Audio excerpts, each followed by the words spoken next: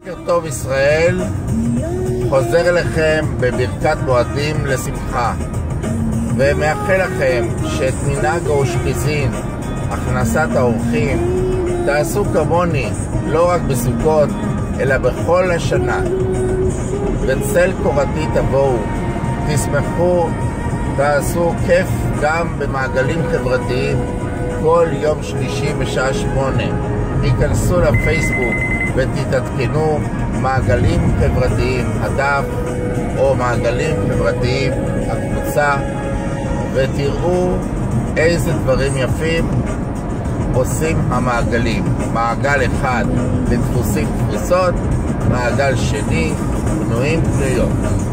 אז בואו על האושפיזין שלי. מועדים לשמחה.